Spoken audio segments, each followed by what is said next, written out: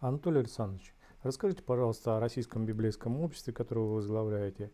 Чем оно живет сегодня, какова его история и как а, люди неравнодушные могли бы помочь развитию этого общества? Сначала бы хотел сказать, что э, история российского библейского общества э, насчитывает уже более 200 лет.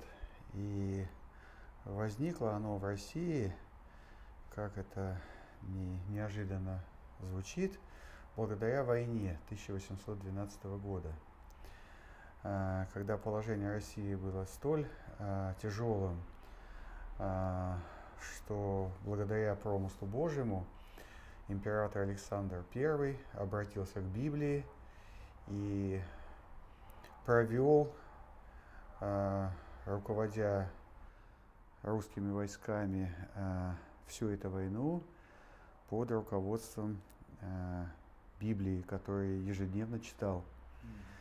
Это малоизвестный исторический факт, но тем не менее было в 1812 году это библейское обращение императора Александра I.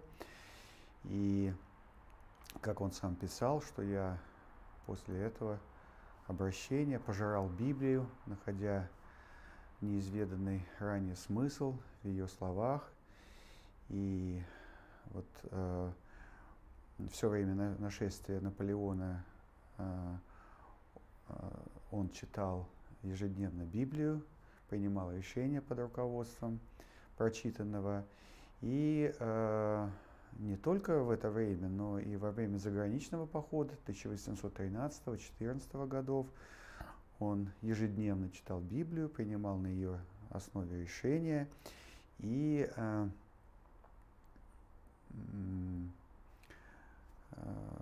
вступил э, во главе союзных войск в Париж в марте 1814 года, вот, э, обращенный к и посвященный Библии. И более того, инициатором образования библейского общества был именно император Александр. Правда, э, идея, э, идею его э, подсказал ему ближайший друг, князь Голицын. Mm-hmm. Было это очень таким... Произошло это вот очень неожиданным образом. Дело в том, что в 1812 году, когда Наполеон продвигался вглубь России и положение России казалось э, очень, э, очень непредсказуемым, очень тяжелым. Э, русские войска отступали, то и боялись вражеской вылазки или наступления на Петербург, который был тогда столицей. И вот в это время в Петербурге распространились слухи, что один из ближайших придворных, э, видный сановник, князь Голицын, изменник и ждет Наполеона. А поводом к этому послужило то, что он вздумал в это время э, строить себе в Петербурге новый дворец. Ему сделали такой вывод, что вот он ждет Наполеона, и вот поэтому строит, кстати, видимо, Война была такая, идет, а да, такая вот была договоренность у него с ним. Вот. Александр не верил слухам этим. Это был его друг детства. Вот. Но, тем не менее, однажды пришел к князю и спросил, вот ходят такие слухи, вот, э, что, это, что это происходит. А, и э, э, князь Голицын сказал, что вот он недавно начал читать Библию и не боится Наполеона, потому что вот то, что он в Библии прочитал, убедил его в том, что Наполеон не будет иметь успех, он потерпит поражение.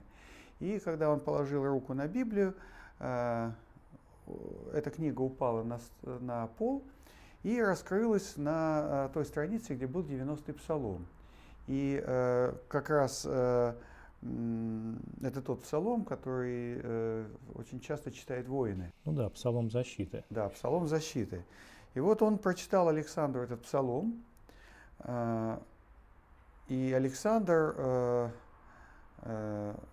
сам он никогда не читал Библию, и э, когда был в церкви по, по должности, ну как император, он и не обращал внимания на чтение по-славянски. Он просто вот выстаивал службу вот, и не вникал, что, что там читается. Что, вот.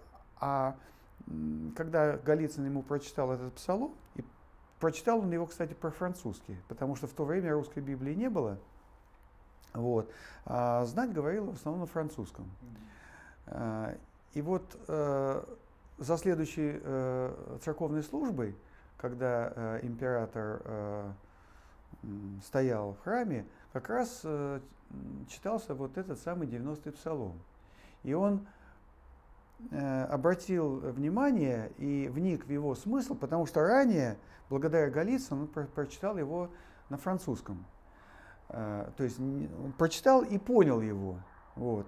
А когда уже читали по-славянски, он знал, что вот в этом псалме содержится, какие слова, какие смыслы. Вот.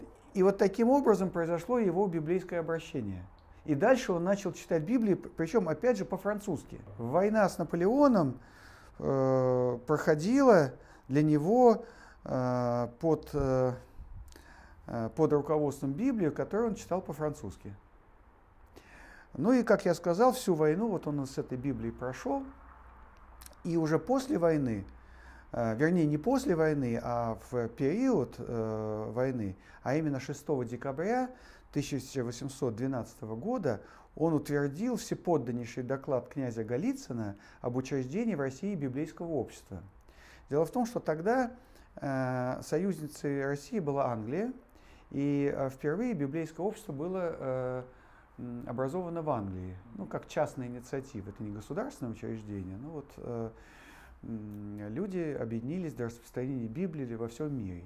И вот э, э, представители вот этого британского библейского общества, они побывали в России и Финляндии, вот, и вот благодаря их э, ну, подсказке, что ли, благодаря их э, такому вот энтузиазму, вот. Э, библейское общество в 1812 году образовалось или в 11 э, Финляндии.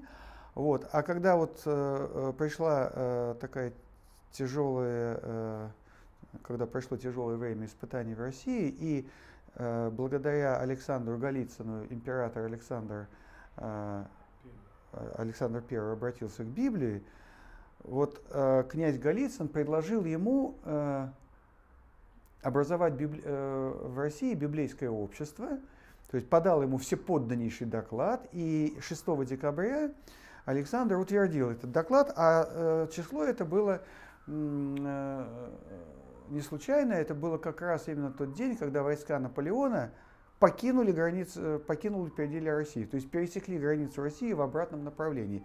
Я не знаю, может быть, он обед дал Богу, так сказать, что вот что-то сделает для распространения Э, Слова Божьего, так сказать, если э, Господь ему поможет одолеть вот этого вот врага. Я, не, я не знаю, что это произошло, но э, тогда. Вот. Но вот факт остается фактом. Оно, это общество, получается, было создано для того, чтобы перевести, как вот сейчас Библию. Да. Перевести на русский язык. Э, Александр, сам обратясь к Библии и многое уяснив, захотел, вот, чтобы и его подданные тоже были просвещены э, именно э, Словом Божьим. Потому что он сам до этого ничего не знал, а через Библию очень много познал, и очень э, вот, и библейское откровение ему помогло в, в те годы. И он захотел, чтобы его подданные тоже вот обогатились и были просвещены вот этим знанием, так, точно так же, как и он. Слушайте, но он дал Библию народу. Ну, а, как Лютер когда-то перевел может, Библию. Да? Ну, это не совсем так, не, он, конечно, не, не как Лютер, но он стал членом библейского общества, президентом его стал князь Голицын, который подал ему эту идею, собственно говоря, познакомил его с Библией. И э, э, он э, стал э, активным его членом, причем Э, активными членами стали и э, многие другие сановники, министр, министр внутренних дел Казадавлев, э, генерал-губернатор Петербурга Милорадович, очень известный полководец, герой войны тоже 1712 года, сам князь Голицын, министр просвещения. э, Александр I ежегодно, то есть при образовании э, общества он пожертвовал 25 тысяч рублей, это огромные деньги по тем временам. И каждый год жертвовал, причем из личных средств, не из госбюджета, по 10 тысяч рублей. Когда император возвратился в 1815 году из э, Европы, из Венского конгресса, а библейское общество уже работало, э, уже э, э, были сделаны кое-какие переводы, уже вышли кое-какие издания, ему преподнесли вот эти издания. Вот. Это была Библия, не Библия, части Библии на армянском языке, на, по-моему, финском языке, ну, на языках народов империи. Вот. И он очень удивился, он принял эти вот образцы издание общества, но э, задумался над тем, что вот, э, можно сказать, инородцы, так сказать, вот его подданные э, имеют э, возможность познать Слово Божие на своем языке, а русский народ не имеет. И тогда он предложил библейскому обществу, вернее, сначала он предложил это Святейшему Синоду, вот, э, начать перевод Библии на русский язык. Но Святейший Синод от, этой, э, от этого предложения уклонился. Вот, и осуществляло этот перевод э, Российское библейское общество, членом которого были и князь Голицын, и император Александр, и, э, и кстати, многие, многие ученые, церковные ученые, вот, причем из разных э, конфессий. То есть там были и протестанты, и, и католики, ну, конечно, э, большей частью православные, в том числе и архимандрит, будущий э, митрополит Филарет Дроздов. Вот, был одним из самых активных членов Российского библейского общества. И вот э, эта, э, эта работа началась э, вот, э, в 1816 году, и к 1822 году перевели весь Новый Завет. Вот он э, вышел, вот сначала параллельно с, э, со славянским Новым Заветом, а потом уже начали печатать его отдельно.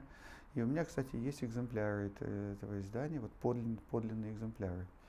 Ну, вот, в 1822 э, вышло параллельно на славянском и на русском, потом только на русском языке. Вот. Ну и таким образом э, библейское общество осуществило перевод э, Нового Завета э, на русский язык, осуществило также перевод Псалтыри, вот, и э, первых восьми книг ну, Ветхого Завета. но в дальнейшем его деятельность была приостановлена, библейское общество было закрыто фактически. 1825 уже после смерти Александра I, вот, когда на библейское общество произошел такой большой накат или наезд со стороны ряда сановников, э, ну, в частности глав, графа Аракчеева, но э, активными участниками э, этого наката э, были также некоторые иерархии э, православной церкви, вот, которые считали, что перевод э, Библии на русский язык это занятие вредное, ненужное, оно только внесет смущение в умы. Вот, так что пусть люди только э, слушают цер- наставления церкви, нечего, так сказать, там вникать, умничать, так сказать, вот, э, неизвестно, что там могут еще там понять и подумать в Библии. Ну, в общем, все это вся эта история длилась очень долго. Э, в 825 году библейское общество закрыли. Вот, все его имущество стоимостью 2 миллиона рублей передали Святейшему Синоду. Что с этими, что с этими деньгами произошло и с имуществом, неизвестно до сих пор. Вот. А некоторые члены библейского общества продолжали на свой страх и риск вот это вот дело перевода Писания на русский язык, потому что был переведен только Новый Завет и часть Ветхого Завета, но они продолжали переводить книги Ветхого Завета, ну вот они за это как следует, так сказать, э, получили, что называется, по, по шапке, так сказать, э, Вот, одного из них уволили со всех должностей, другого отправили в ссылки. Ну, в общем, можно сказать, еще легко отделались. Вот, э, потому что вот преобладающее мнение среди э, церковных иерархов было то, что этим заниматься не нужно. А читать-то люди умели тогда?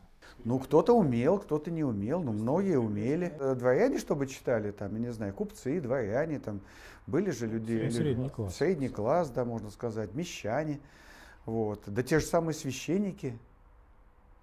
Вот. Почему бы, почему бы и священнику не прочесть э, Библию на русском языке?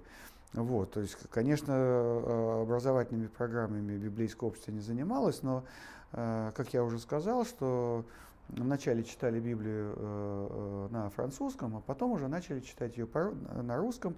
И более того, вот эти вот экземпляры э, Нового Завета, которые библейское общество издало, и уже они продолжали распространяться уже даже после закрытия библейского общества. И вот в частности Достоевский, о чем он пишет в своих произведениях, Э, э, читал э, Новый Завет на русском языке, и, судя по всему, это как раз был Новый Завет в переводе Российского библейского общества.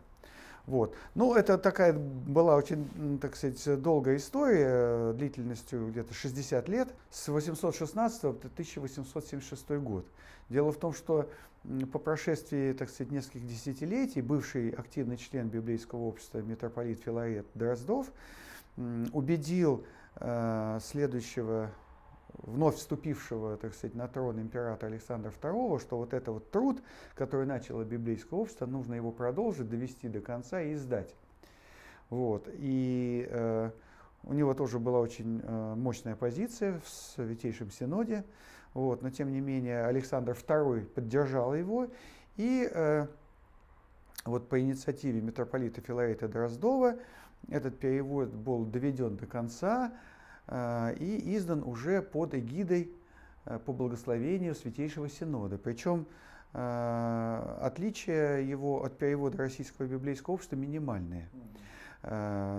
Вот нынешний синодальный перевод, который читает и православный, а протестанты еще больше его читают, вот, он называется синодальным переводом, вот можно сказать, по иронии судьбы, потому что на протяжении 60 лет, ну не 60, а, а менее, менее а, ну, там, не знаю, лет 40, наверное, вот, э, э, Синод в основном только и делал, что вставлял палки в колеса. И э, организовывал, так сказать, гонения против и библейского общества, и тех, кто продолжал его дело. Но вот потом, так сказать, ситуация изменилась, и этот перевод закончили, и уже издали его а, под э, э, эгидой библейского общества, под эгидой э, Святейшего Синода.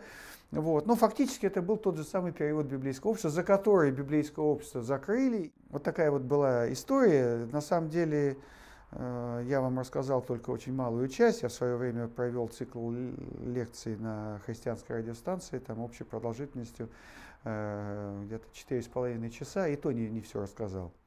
То есть это была такая очень длительная история. Многие люди думают, что вот э, это большевики закрыли библейское общество, вот до революции оно было, до, до революции оно действительно было, но закрыли его не большевики, вот, а свои же Э, свои же сановники, свои же, э, так сказать, иерархи, вот, задолго-задолго до большевиков, там чуть ли не за сто лет. Вот. А возродилась она в 1991 году, вот, и вот с тех пор мы уже, э, так сказать, работаем. Современные истории, так сказать, пересказывать не тоже очень... Не было проблем таких? Были проблемы, да, были проблемы, связанные с переводом Библии. Как, э, мы э, долгое время работали и издали э, Библию на современном русском языке, издали э, также этот перевод с, э, с обширными комментариями, учебное издание этого перевода. Вот. Этот перевод распространяется, он доступен и в печатном виде. Вот. И в стандартной, так сказать, что называется, компоновки, вот, с, с небольшими комментариями, но самыми важными, и также в, учебной, в учебном формате, то есть с обширными комментариями, введениями, вот, приложениями и так далее. То есть, он, но это вот основной, так сказать, результат наших трудов за эти десятилетия, потому что более 15 лет, так сказать, труд, а если считать учебные издания, еще это более 20 лет, можно сказать. Ну, вот э, вызовов, э, проблем было очень много, были и э, свершения, достижения. Но вот сейчас мы можем уже сказать, э, что наступил новый этап. Но вот для меня э, на новом этапе самое, самым таким значимым, интересным вот, э, является два обстоятельства.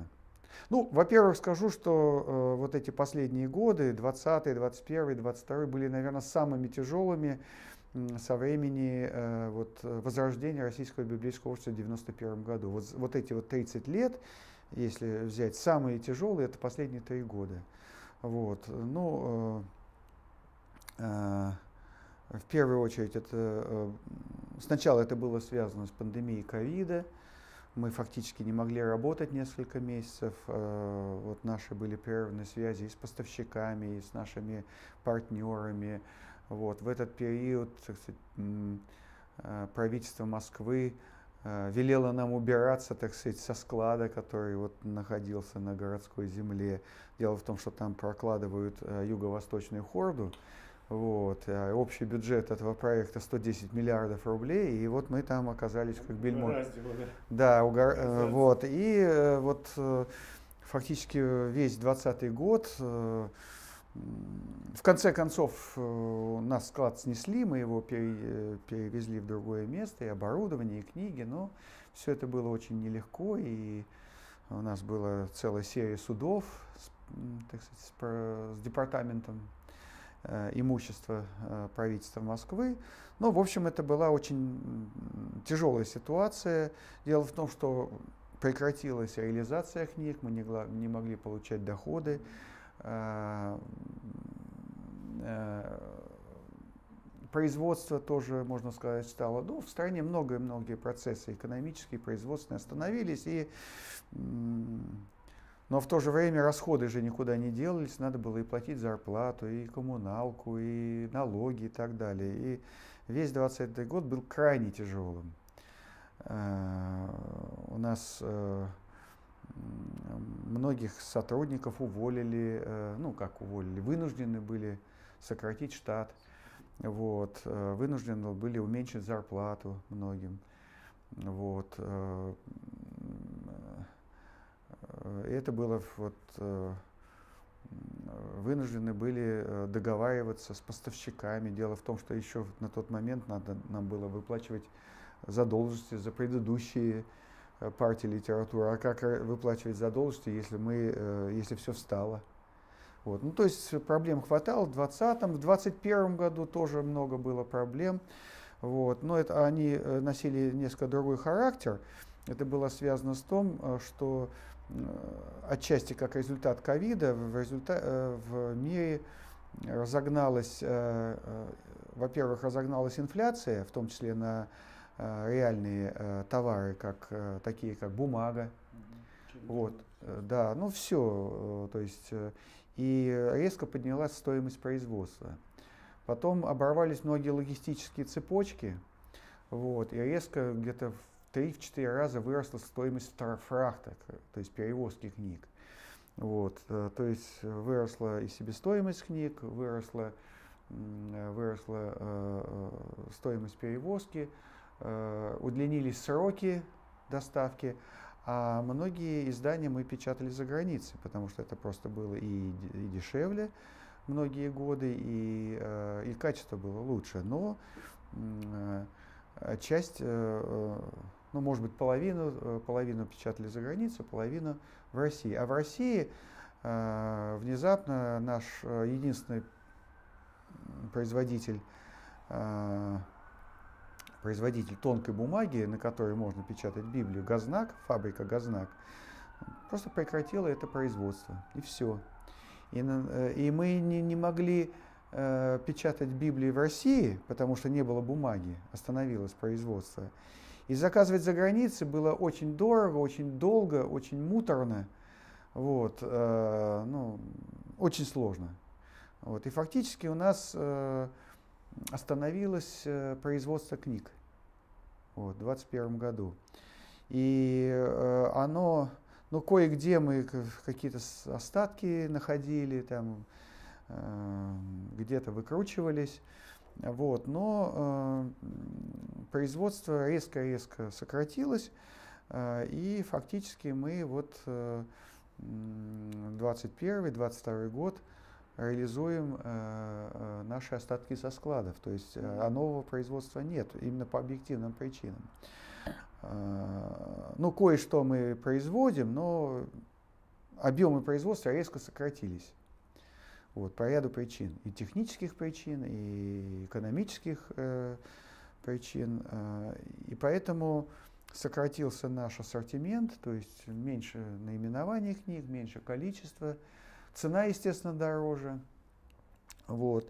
Ну и э, плюс к тому люди вообще стали реже э, книги покупать, потому что очень многие перешли на чтение в смартфонах, там, в различных электронных устройствах и так далее. И и вот э, изменение способа познания, способа, э, оно, конечно, очень сильно, э, так сказать, повлияло и на библейское общество. Хотя мы и готовим и электронные издания, мы готовим и аудио э, книги. В частности, вот у нас есть перевод и Нового Завета в современном русском переводе, и синодальный перевод есть э, в аудиозаписи и Ветхий Завет э, тоже э, существует в таком формате. Но, тем не менее, э, это представляет для, для нас и экономическую проблему, и техническую проблему. А в 2022 году все еще более, так сказать, усложнилось, потому что по-прежнему производство фактически для нас стало недоступным еще потому, что ввели санкции против российских банков – и стало невозможно проводить деньги, даже если тебе где-то э, произведут, э, вот раньше мы заказывали книги в, Корее, в Китае, вот, как расплачиваться. Нас отключили от платформ электронных, где мы размещали электронные книги, вот, э, iBooks, Google Play Books. То есть библейское общество попало под санкции. Мы обратились к своим партнерам за рубежом, да, чтобы... Объяснить это, ну, ну а а что значит объяснить? Кому объяснять? Мы спрос... Э, то есть мы попытались э, ну, каким-то образом эти санкции обойти, то есть попросить, чтобы наши партнеры за нас перевели деньги, ну, там, путем взаиморасчетов, так сказать, э, что называется, там, по-партнерски. Вот, мы же находимся в, в объединенных библейских обществах. А наши партнеры сказали, нет, извините, не можем, потому что санкции это дело, в общем, такое незаконное, вот, и ничем они нам не помогли. Вот. Э, э, более того, так сказать, э, капиталисты, вот, например, владельцы типографии, они готовы с нами работать. Вот, допустим, мы договорились издать одну из, вот, конкретно осетинскую Библию, вот перевод, который мы недавно осуществили, на одной из типографий в. Они сказали, пожалуйста, мы сделаем, изготовим, доставим, все, только деньги заплатите. Мы не смогли заплатить деньги никак. Вот. То есть э, капиталисты, буржуи оказались более лояльными к библейскому обществу, нежели вот наши уважаемые партнеры. Вот. Э, а когда мы спросили, а что вот эти санкции, ну, дело в том, что в основном э, э, сотрудники объединенных библейских обществ, ну, так сказать, большая часть аппарата, она работает в Англии. Вот. И они сказали, что вот санкции наложили, мы ничего не можем сделать. Мы даже не можем вам оказывать консультационные услуги. Специально уточнили, а вы поинтересуйтесь у вашего правительства, распространяются ли санкции на некоммерческие организации, гуманитарные, там, э, религиозные, христианские. Они сказали, да, распространяется на всех, без каких-либо исключений. Э, вот. Но мы попали под санкции именно потому, что мы российское библейское общество. Это вот единственная причина, что, что мы российская организация, мы российское библейское общество. Мы попали под санкции в отношении конс... даже консультационные услуги уже нельзя оказывать. Финансовые услуги э, от электронных платформ отключили. Вот.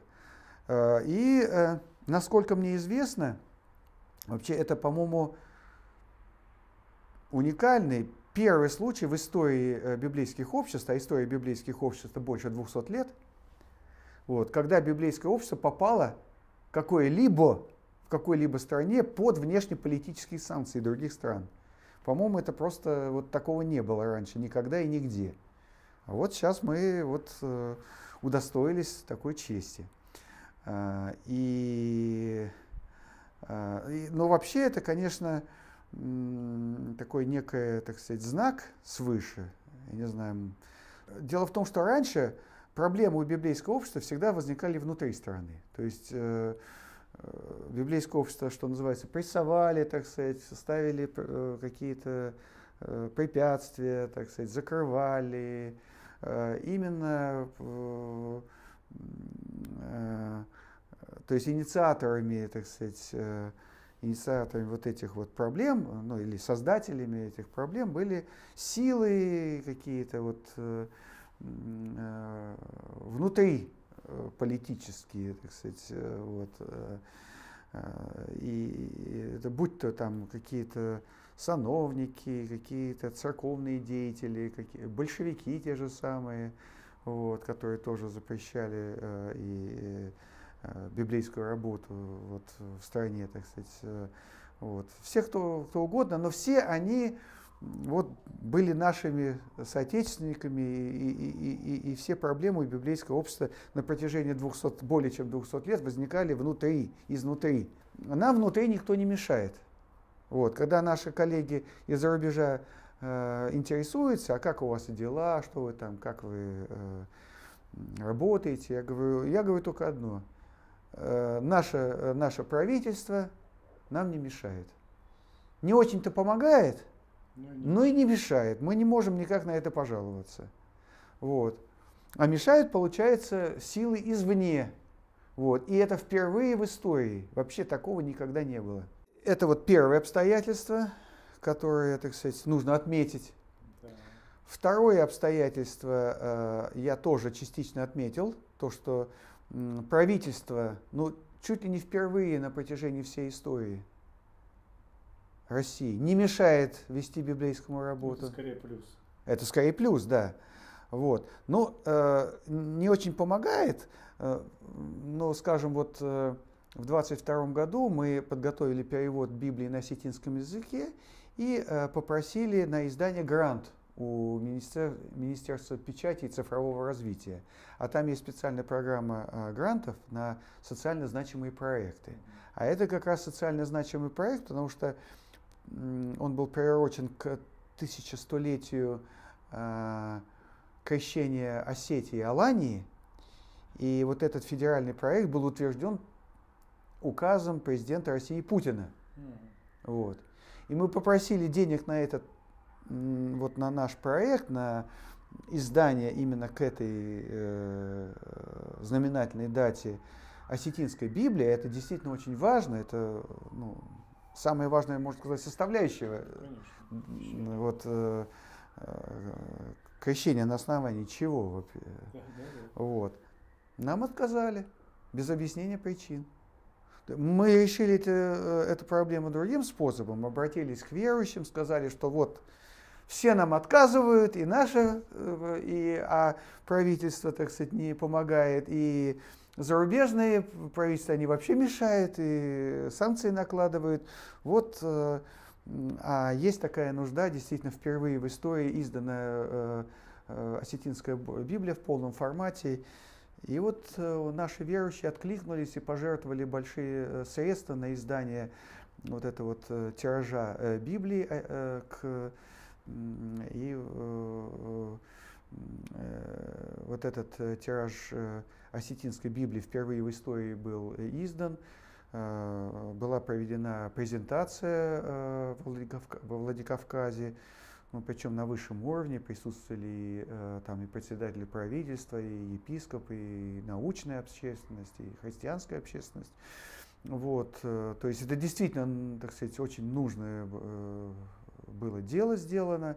И епископ, который, кстати, очень активно это все поддерживал, он заявил в интервью телеканалу России, что это эпохальное событие. Вот. Ну, но правительство нам не помогло. Хотя это федеральный проект, утвержденный указом президента России. Библейская деятельность в России, вообще библейская работа, само библейское общество зародилось и приобрело, в общем, такой огромный масштаб. И многие люди, э, очень важные и влиятельные, именно приняли участие, это было благодаря войне. А сейчас мы входим в аналогичный период.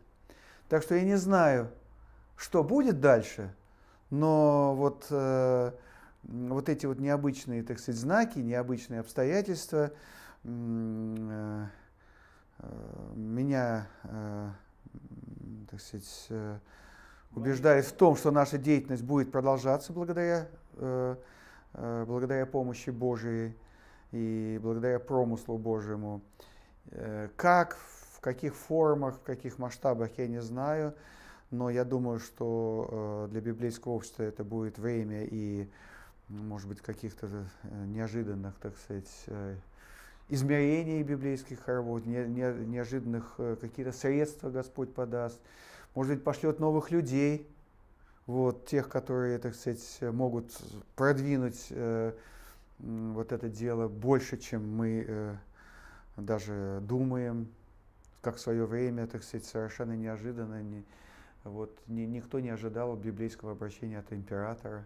Вот. Может быть, и наш руководитель обратится к, э, к Слову Божьему, мы не знаем, так сказать. Но вот э, все эти наши обстоятельства, знаки, свидетельства о том, что это очень необычное э, время, которое, так сказать, э, вот, по моему мнению, так сказать, э, для нас э, э и эти вот знаки нам ну, обозначают или как-то сулят какие-то неожиданные, так сказать, перспективы, возможности, какие я просто не знаю и, и предсказывать не берусь. Но для нас главное продолжать эту библейскую, э, эту библейскую работу, как бы то ни было, держать строй, преодолевать с Божьей помощью вот те проблемы, которые существуют, и которые вроде бы даже еще и усугубляются, а там дальше как Бог даст.